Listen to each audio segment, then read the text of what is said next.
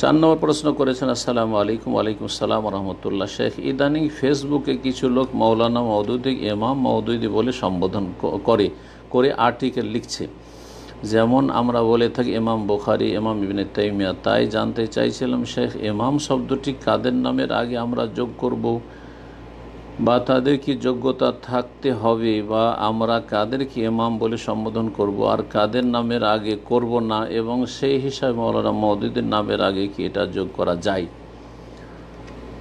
মৌলানা মৌদুদিকে যারা ইমাম বলছেন, তারা যদি মৌলানা মৌদুদি পর্যন্ত সীমিত রাখতেন, তো যাক, ভুলটা একটা সাধারণ ভুল ছিল। কিন্তু তারা দেখেছেন, তারা খোমাইনির মতো অভিশপ্ত ব্যক্তিকেও বলে ইমাম খোমাইনি। বাপের বেটা ইমাম খোমেনি তাদের আল্লামারা, তাদের বক্তারা এসব কথা শিখিয়ে রেখেছে তাদের মরিদানদেরকে, তাদের ভক্তদেরকে। সুতরাং যারা রসুল্লাহ সাল্লামের বিবিগণকে কাফের বলে আউজবিল্লাহ আল্লাহ তাদের অনিষ্ট থেকে মুসলিমার হেফাজত করবে যারা সাহাবাই কেরামদেরকে কাফের বলে পাঁচজন সাহাবি যারা সবাই নাকি মুরতাদ কাফের হয়ে গেছিল এ হচ্ছে শিয়া, রাফেজি আর এই খোমেনির মতবাদ। জি। তো খোমেনিকে যারা ইমাম খোমেনি বলতে পারি, আদর্শ বলতে পারি, তারা মৌদুদিকে ইমাম বললে তো বড় দোষের কাজ করেনি। জি। আর মনে রাখবেন, প্রত্যেক গোষ্ঠী, প্রত্যেক ফিরকা যতগুলি যে বাহাত্তর তেহাত্তর ফিরকা হয়েছে একটি জান্নাতি নাজাদ প্রাপ্ত বাকি সবগুলি ধ্বংসপ্রাপ্ত। সবগুলির এমাম আলাদা আলাদা আছে। একমাত্র নাজার নাজাদপ্রাপ্ত দলের সবচেয়ে বড় এমাম মহান এমাম এমাম আজম মোহাম্মদ রসুল্লাহ সাল্লাহ সাল্লাম। আর তারপরে আইম্মাতুল হুদা এমাম দুই রকমের এমাম দুই রকমের। আইম্মাতুল হুদা, আল্লাহ কোরআনে করিমের সাদ করেছে, ওয়াজা আল্লাহ আইম্মাতে ইয়াহদুনা বি আমরেন আল্লাম্মা সবারু। আমি তাদেরকে এমাম বানিয়েছিলাম। ইয়াহদুনা বি আমরা যারা আমার নির্দেশ অনুযায়ী তারা হেদায়তের পথে থাকত বা অন্যদেরকে হেদায়ত করত। ইহাদুন আবি আমরা তারা নিজেরা পরিচালিত হইতো, অন্যদেরকে পরিচালিত করতো। বে আমরে না আমার আদেশ, নিষেধ বা নির্দেশ, দিক নির্দেশনা মোতাবেক। তো এরা হচ্ছে আইম্মাতুল হুদা। তারা হচ্ছেন আম্বিয়া রসুল, সিদ্দিকিন, সোহাদা, সালেহীন।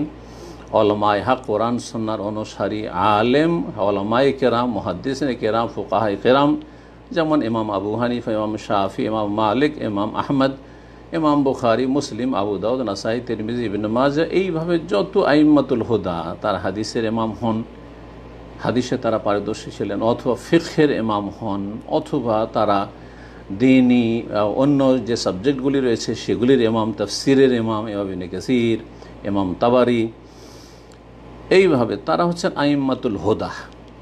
আর এক শ্রেণির ইমাম রয়েছে যারা হচ্ছে আইম্মাতুল দলাল, গুমরাহির ইমাম। তারা দুই রকমের আছে, কিছু আছে পুরোপুরি গুমরাহ পুরোপুরি গুমরাহ একেবারে, চরম গুমরাহ, এরা হচ্ছে আইম্মাতুল দলাল পুরোপুরি।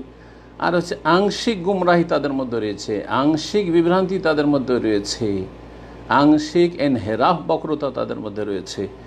এরাও আইম্মাতু দলালের অন্তর্ভুক্ত।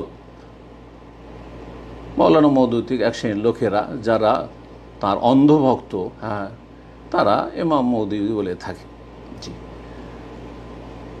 বলবে না কেন? অন্য ফিরকারা রয়েছে যারা যেমন বেরেলবি তারা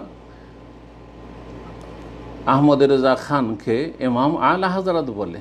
নাম কোনোদিন তাদের মুখে শুনতে পাবেন না। তারপর এমাম আলা হাজারাত।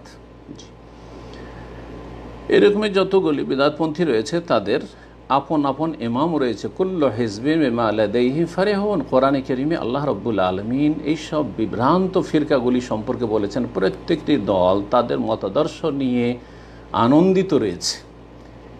তাদের যে আদর্শ ব্যক্তি যা যার থিওরিকে, তার চিন্তা চেতনাকে তারা আদর্শ মনে করেছে রসুল্লাহ আসলামের ছেড়ে যাওয়া আদর্শ বাদ দিয়ে, সালাফে সালেহিন আদর্শ বাদ দিয়ে, তারা তা নিয়ে হ্যাঁ কি রয়েছে? উল্লাসিত রয়েছে, তা নিয়ে তারা মগ্ন রয়েছে, তাতেই তারা খুব আনন্দিত।